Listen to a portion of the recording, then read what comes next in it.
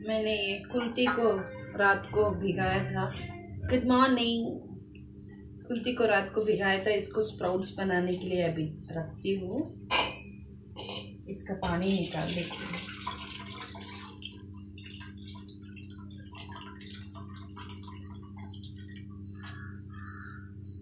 और थोड़ा पानी धो के अच्छे से।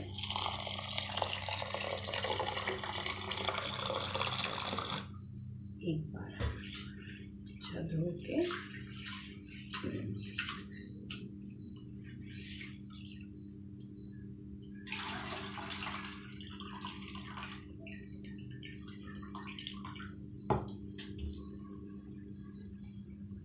इसको फेंक देती हूँ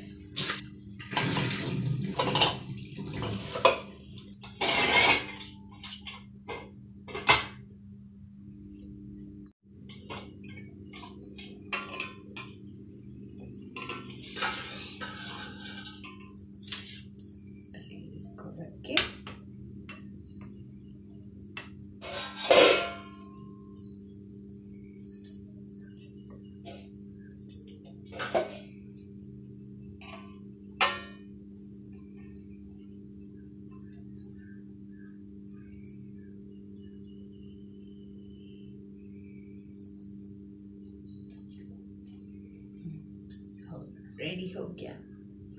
कुछ कीड़े सब नए आएँगे तभी। वो क्या बोलते हैं? छोटा छोटा आता है ना वो कुछ नहीं आएगा। कवर भी रहेगा एयर भी जाएगा अच्छे से। स्प्राउट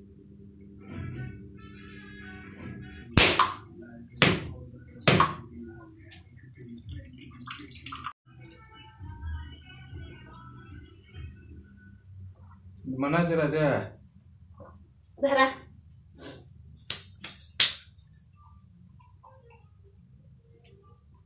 हम्म